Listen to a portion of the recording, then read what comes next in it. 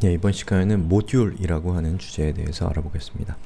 자, 모듈이라는 것을 알아보기에 앞서서 우리는 부품이라고 하는 이 단어의 의미, 부품 생각해 볼 필요가 있습니다. 자, 프로그램은 작고 단순한 것에서 예, 크고 복잡한 것으로 진화한다고 이렇게 적어놨는데요. 작고 단순한 것에서는 그렇게 필요 없지만 크고 복잡한 것에서는 반드시 필요한 것들이 바로 코드의 재활용성 또는 유지보수를 쉽게 할 수 있는 기법들 이러한 것들입니다.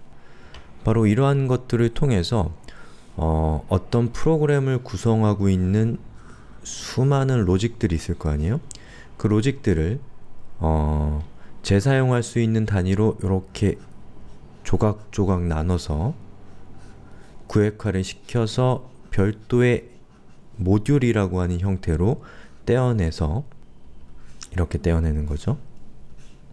이것을 또 다른 프로그램에 예, 얘는 얘로 가고 얘는 얘로 가고 얘는 얘로 가겠죠. 부품으로 사용하는 그러한 기법 또 그 부품들을 바로 모듈이라고 하고 이러한 기법을 모듈화라고 합니다. 그래서 이 프로그래밍에 있는 여러 가지 기능들은 이 바로 그 모듈화를 지원하기 위한 기능들이 아주 많이 있는데요. 바로 그러한 기능들이 다면적으로 예, 작용해서 잘 만들어진 모듈을 만들 수가 있는 것이고 그렇게 잘 만들어진 모듈은 아주 많은 사람들, 또 아주 많은 프로젝트에 의해서 사용될 수 있는 형태의 훌륭한 부품이 되는 것이죠.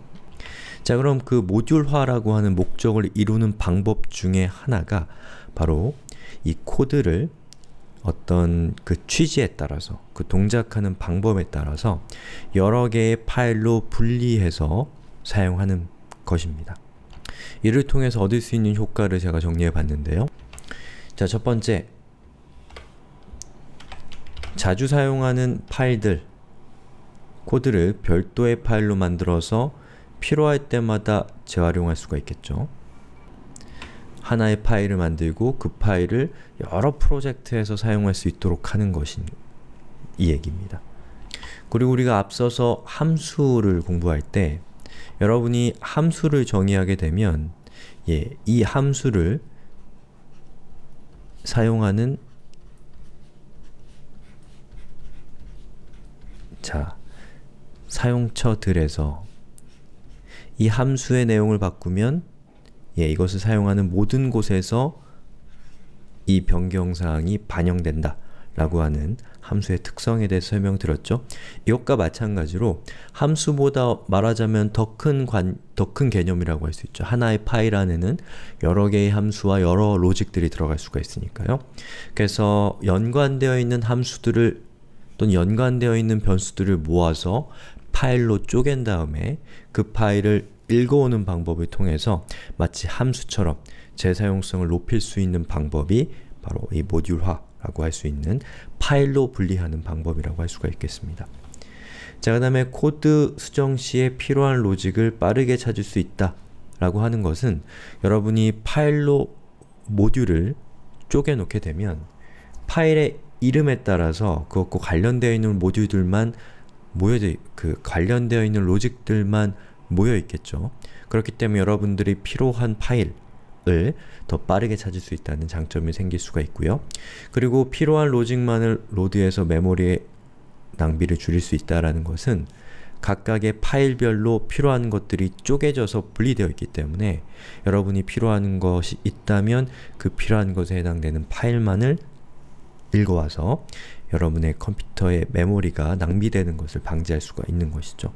그리고 여러분이 웹브라우저를 통해서 어, 자바스크립트를 이용한다고 한다면 한번 다운로드된 자바스크립트는 예, 그 다음부터는 브라우저에 그 내용이 저장되어 있기 때문에 그 다음에 그 다음에 그 사용자가 그 자바스크립트를 사용하려고 하면 브라우저에 이미 다운되어 있는 자바스크립트를 사용하기 때문에 사용자 입장에서는 기다리는 시간, 또 네트워크를 사용하는 비용이 절약되는 것이고 이 파일을 제공하는 입장에서는 예, 네트워크 트래픽, 예, 다 비용이죠.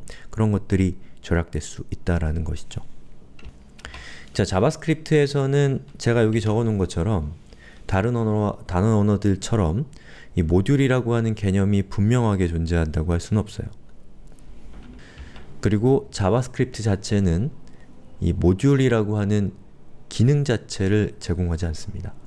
대신에 그 자바스크립트가 구동되는 환경, 이를테면 브라우저, Node.js 또는 Google Apps Script 이렇게 자바스크립트가 구동되는 환경을 호스트 환경이라고 부르는데요. 바로 그 호스트 환경에 따라서 여러분이 어, JavaScript logic을 파일로 분할해서 마치 다른 언어에서의 모듈처럼 사용할 수 있는 방법들을 제공하고 있습니다.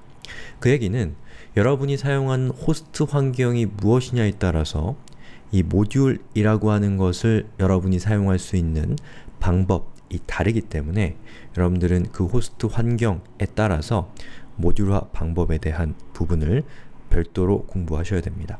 자, 우리 수업에서는 기본적으로 웹브라우저에서 여러분이 파일을 어, include하는 다시 말해서 모듈화하는 방법에 대해서 중점적으로 설명을 드릴 거고요.